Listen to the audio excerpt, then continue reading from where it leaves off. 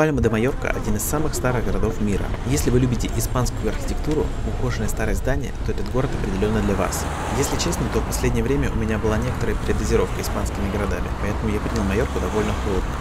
Знаете почему? Вы просто из каждого угла на нашем круизном лайнере нахваливали этот потрясающий и непревзойденный город. Доходило даже до того, что приводили цитаты известных людей, к примеру, знаменитого теннисиста Рафаэля Надаль, который сказал, что живет в самом лучшем городе мира и что больше ему ничего не нужно. Когда вы слышите подобные заявления, то в вашей голове начинают рисоваться совсем уж сказочные картины города. Ну, на самом деле, в центре город совсем ничем не отличается от других испанских городов, а береговая его часть скорее напоминает Мальту, если бы она была чуть побогаче.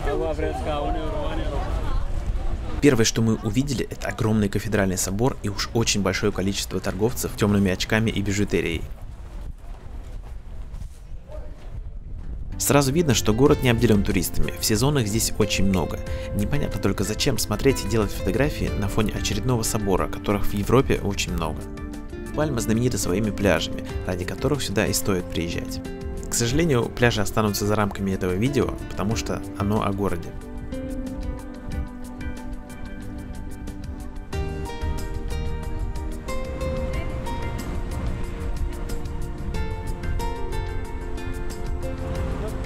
Сейчас я как раз показываю наш лайнер. В правом верхнем углу я даю ссылку на видео с этого корабля.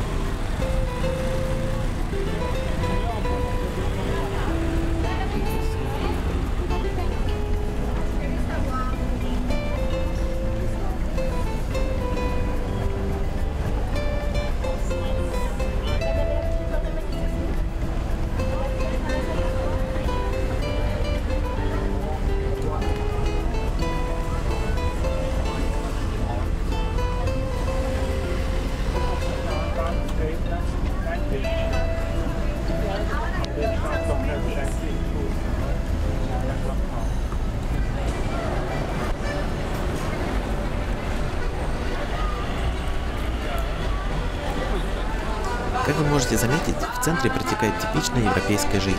Люди отдыхают в кафе, атмосфера очень расслабленная.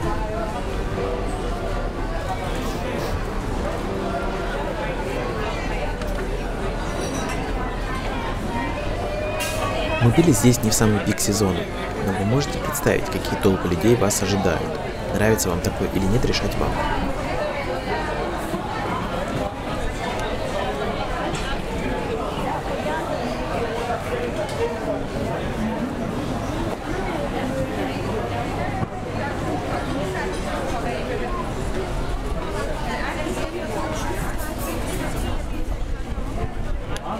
Если честно, город не показался интуитивно понятным. Уж слишком запутанная система улиц, автомобильных и пешеходных. Но гулять по улочкам очень приятно и видно, что город находится в очень хорошем состоянии.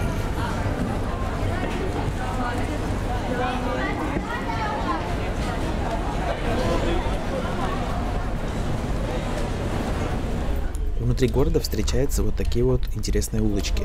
Напишите в комментариях, какой город она вам напомнила.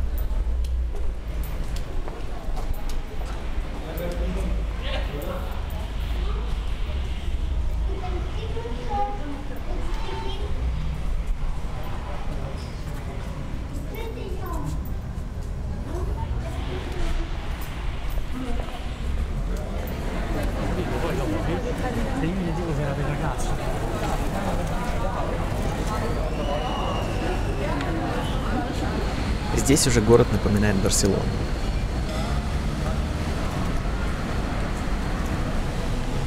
Любителям морепродуктов здесь понравится.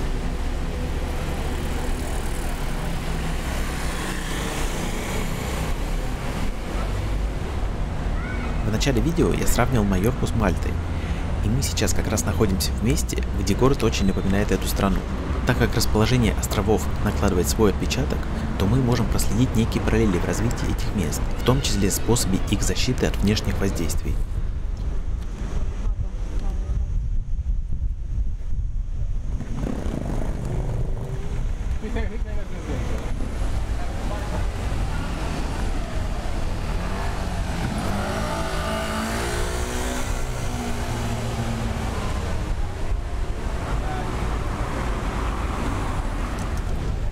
Очень сложно делать обзоры и подбирать слова для европейского города. Они примерно все похожи, и чтобы разобраться в их отличиях, нужно уходить вглубь. А это чревато историческим занудством, которое большинству людей не нужно.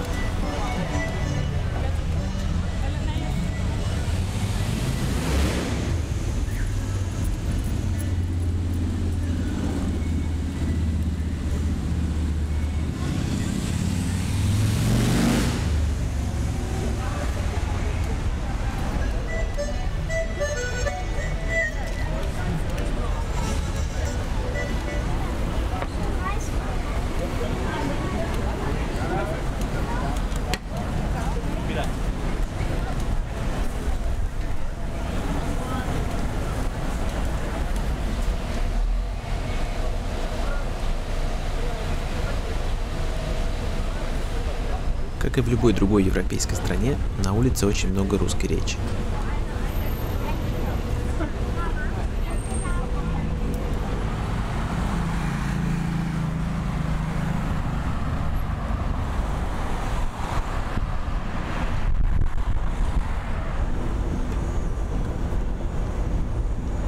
Здесь как раз наглядное объяснение моей фразы, что город похож на более богатую Мальту.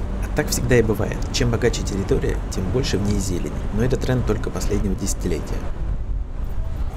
Ну а это просто сказочный замок. Удивительно, сколько всего разнообразного намешано в одном городе.